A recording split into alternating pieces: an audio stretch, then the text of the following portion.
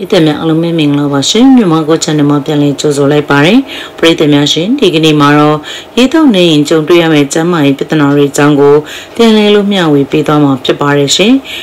ဒီကြောင်းရာတွေကိုမတင်ဆက်ခင်မှာတော့နေ့စဉ်နေ့တိုင်းပရိသတ်တွေအားလုံးတို့ယောဂဗျာတွေကင်းဝပြီးတာပျော်ရွှင်တဲ့အချိန်များစွာပိုင်ဆိုင်နိုင်စေရန်အတွက်ကျမ်းမာရေးပူတုတာတွေကိုအချိန်နဲ့တပြေးညီတင်ဆက်ပေးနေတဲ့ကျမတို့ရဲ့ channel ကိုမျက်ခြေမပြတ်ကြည့်ရှုအားပေးခြင်းနဲ့ဆိုရင် subscribe ရအနည်းအောင်စာရန်လေးကိုနှိပ်ပြီးအားပေးထားဖို့လိုပါတယ်ရှင်။ဒီလုံများတဲ့သူတွေမှာရေတောက်ဖို့ဆိုတာမိမိနေတတ်ပါတယ်။ညသောအဖြစ်တချို့လူတွေမှာဆိုရင်လည်းနေ့စဉ်ရေတောက်ဖို့မိနေတတ်ကြတဲ့သူတွေလည်းရှိပါတယ်။ ဒီတော့ရေတောက်နေခြင်းနဲ့ပတ်သက်တဲ့ကျန်းမာရေးဆိုးကျိုးတွေကဘာတွေဖြစ်မလဲဆိုတာအခုပဲပြပြပေးမှာဖြစ်ပါတယ်။ကျန်းမာရေးဆိုင်ရာလေ့လာသုံးသပ်ချက်တွေအရအမျိုးသားတို့အနေနဲ့တစ်နေ့ကိုရေ3.9လီတာခန့်တောက်သုံးပေးဖို့လိုအပ်ပြီးတော့အမျိုးသမီးတွေကတော့တစ်နေ့ကို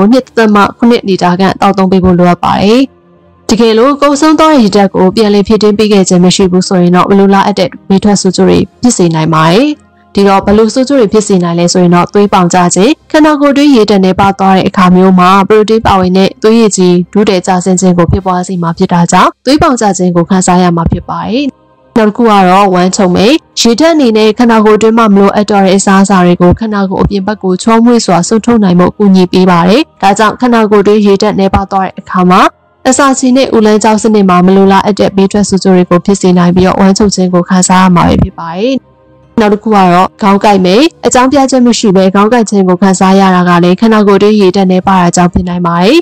ပြီးတော့အသားရည်6သွေးခြင်းရေတောက်နေနေပြီဖြစ်ကြောင်းကိုအလွယ်တကူသိရှိနိုင်တဲ့နောက်ထပ်အချက်တစ်ခုကတော့အသားရည်6သွေးလာတာပဲဖြစ်ပါတယ်အရေးပြားကခန္ဓာကိုယ်ရဲ့အကြီးမားဆုံးအစိပ်ပိုင်းတစ်ခုဖြစ်ပါတယ်။လှပတဲ့အသားရည်ကိုပိုင်ဆိုင်နိုင်မှုအတွက်ဆိုရင်တော့တနေ့ကိုရေရှိခွက်ခန့်တောက်သုံးပေးဖို့လိုအပ်ပါတယ်။ ရေတက်နေသွားတဲ့အခါမှာတော့ခန္ဓာကိုယ်အတွင်းမှာရှိတဲ့စိတ်တောက်တွေကိုချွေးအဖြစ်ဆွတ်ထုတ်နိုင်မှာမဟုတ်တော့တာကြောင့်အသားရည်6သွေးခြင်းကိုခံစားရမှာဖြစ်ပါတယ်။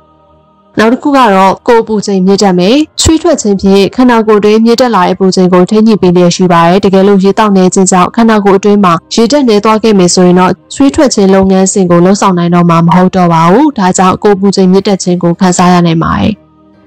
နောက်တစ်ခုကတော့ကတွင်းနဲ့ဆိုထွက်မယ်ရေတောက်နေတဲ့အခါမှာပါဇက်တွင်းတတွေးထုတ်လုပ်မှုလည်းနှဲပါတော့မှာဖြစ်တာကြောင့်ပါဇက်၆ခြင်းကိုခန်းစားရမှာဖြစ်ပါတယ်။ဒါအပြင်တတွေးထုတ်လုပ်မှုနဲ့ပါခြင်းကြောင့်ပါဇက်အတွင်းဘက်တီးရီးယားတွေပုံမှုပေါက်ဖွားလာနိုင်ပြီးတော့ကတွင်းနဲ့ဆိုးခြင်းကိုဖြစ်ပွားစေနိုင်ပါတယ်။ ဒါကတော့ရေတောက်နေတဲ့အခါမှာကျန်းမာရေးစိုးကျိုးတွေဘာဖြစ်စီနိုင်လဲဆိုတဲ့အကြောင်းအလေးကိုပြပြပေးခဲ့ရပဲဖြစ်ပါတယ်ရှင်။နေ့တင်ဆက်ပေးခဲ့တဲ့အကြောင်းအရာကိုပြီးဆုံးသည့်ဒီချိန်ပြပြနာဆင်ကြည့်ရှုပေးခဲ့ကြတဲ့ပရိသတ်တူချင်းစီတိုင်းကိုလည်းယေရှုအများကြီးတမရယ်လို့ပြောရင်းနှုတ်ဆက်လိုက်ပါရရှင်။ပရိသတ်များအားလုံးပဲ